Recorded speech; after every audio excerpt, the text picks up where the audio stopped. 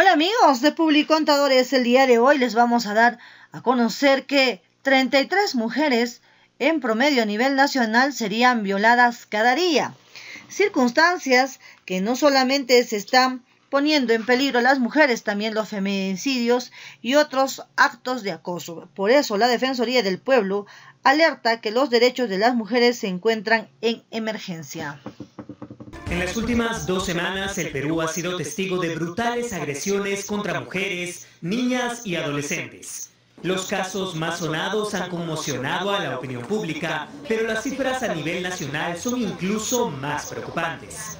Se han este, registrado ya 39 feminicidios, hay 26 eh, tentativas de feminicidios de mujeres que han superado a la agresión brutal eh, de sus eh, este, victimarios y 11, 9 muertes violentas. Tan solo en lo que va del año se han reportado más de 1.110 casos de violaciones sexuales y más del 90% de las víctimas son mujeres y menores de edad. En promedio hay 33 violaciones sexuales por día. Si el año pasado eran 21 por día, estamos en una, en una cifra incremental.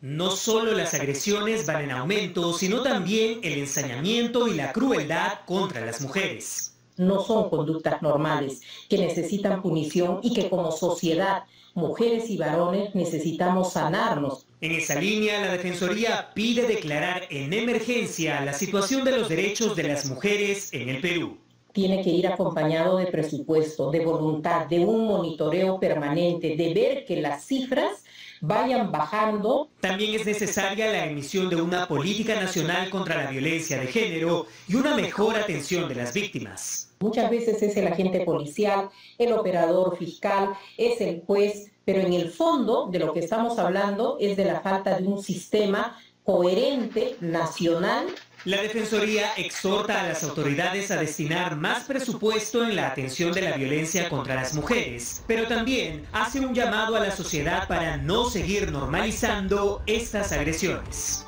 Bueno amigos, lamentable situación que vive nuestro país. ¿Tú qué opinas? Déjanos tus comentarios. No olvides de suscribirte a nuestro canal, dale muchos like y lo más importante, comparte nuestra información. Con nosotros será hasta la próxima. Tupananchis Kama.